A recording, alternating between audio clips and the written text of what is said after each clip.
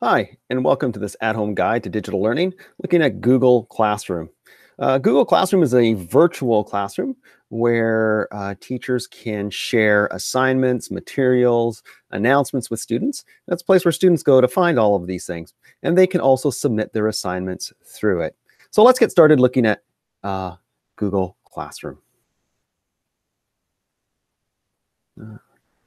So there are two ways that students can join a Google Classroom. So let's look at the first way. All right. So the first important piece is to ensure that the student is logged in with an at Delta Learns Google account. If you're logged in with a personal Gmail account, you won't be able to access the classroom. So let's just ensure that. And here it is. It says uh, tech help at Delta Learn. So we're in the right account. So let's go to Google Classroom. Now we can find it in the waffle, or we can type it in the Omnibar as classroom.google.com. But let's use this. So in this case, a teacher has provided me with an invite. Once I have an invite, I can click on the join to join that class.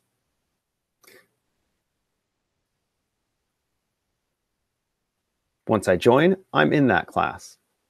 Another way a teacher might um, in, or include me in the class is by providing me with a code. In this case, students self-enroll. And this method a code is shared with a, with a student via email or some other form of communication, and the student enters that code. So this time, let's try with another student. So once again, we ensure that it's a Delta Learns account. Excellent. Go to classroom.google.com or on the waffle. Now, the first time we go into the classroom, this is the student's first time, they may be presented with this. And it's, it's an, it just wants to confirm that they are selecting the proper account, I check down here to make sure that this is me. Yes, this is Tech Help 3. It's my Delta Learns account. And then I continue. It asks if I'm a teacher or I'm a student. I'm a student. This may or may not pop up. And then I need to join the class. And I join the class by entering a code. So the teacher would have shared a code with me. So I'm just going to get the code that the teacher shared with me. And this code is entered. In all cases, the code uh, it consists of lowercase letters and usually a digit. I now join.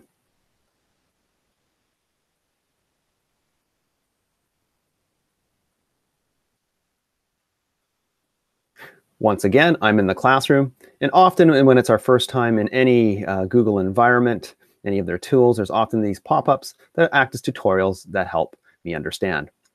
So when we first enter the classroom, we end up on what is called the stream page. And the stream page is a page where a teacher might post announcements, might post assignments, or there might even be a discussion board going on.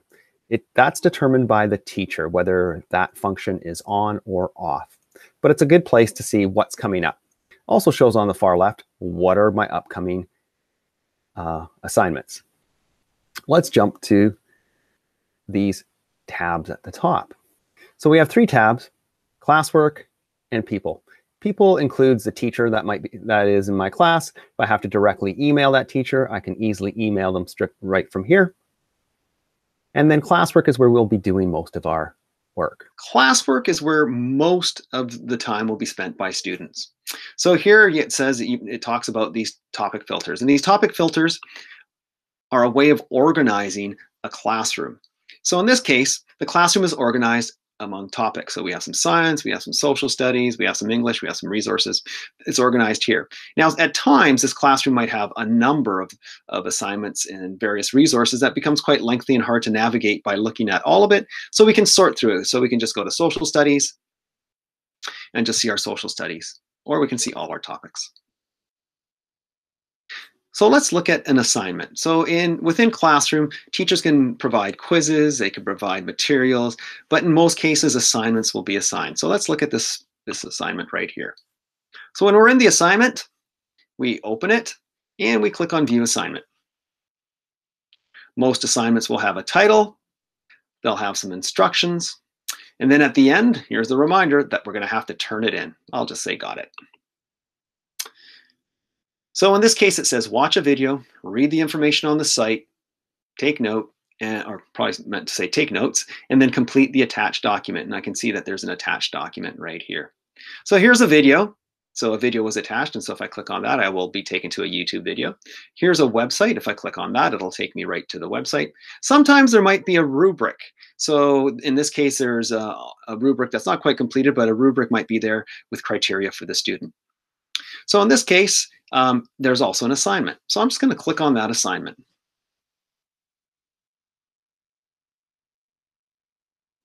Now the assignment's going to open up in a Google Doc in this case, that's what was assigned.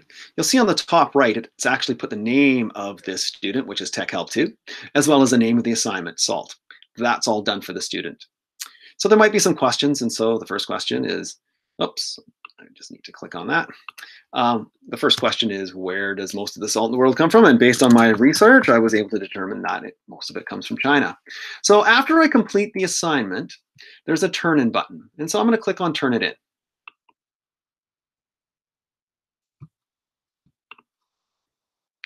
Okay, now after I turn it in, I'm back to this point and I have to turn it in again. So I'm going to click on turn it in.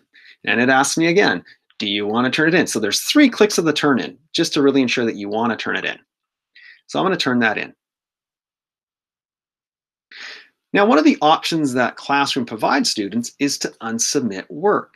So perhaps I've gone home, I, I looked at that video again, I read the website, and I realized, ah, I think I've made some mistakes. So I can always go back to Classroom and look at this again. So let's say I, you know, the student has gone home, goes to classwork, comes back to this assignment. There it is, it's still there. I go to view it, and that assignment is still there. I can, so the student can still unsubmit it. The student can only unsubmit up until the point that the teacher has collected and started to assess the assignment. So I'm going to unsubmit, unsubmit, and then I can just click on the document.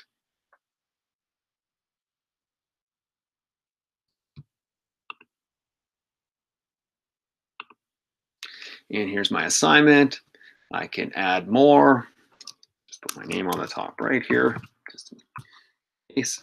All right, and then once again, there's that turn in button. So I'm gonna click on turn in. It's gonna bounce around.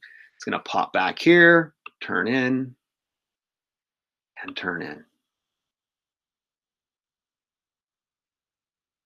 Now on the teacher's side, once it's turned in, the teacher is going to perhaps add some comments and then return the assignment. So in this case, I can see that this one's been turned in. It's Tech Help 2. Let's go take a look at it.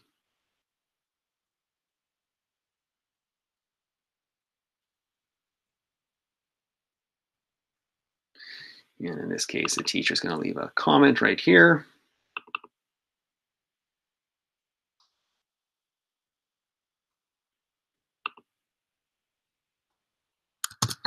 Say that that's correct. Comment. The teacher might also put some final comments on it, but then they'll return it to the student. So I'm going to return this to the student. And yes, I want it returned.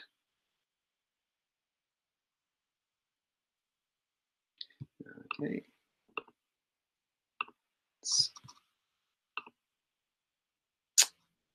And I'm just going to refresh this. So now I'm back in the uh, students classroom. I'm just going to refresh it. And the student can go into classwork. And here's another one of those pop-ups where we can view all our work and track, track it. So all of our work would be in there. And so the student can now go in. Now the student will get a notification via email as well that the, the assignment's been returned. And the student can go in, can view the assignment once more. We can talk with the teacher. So if we wanted to um, do something because it's now been returned,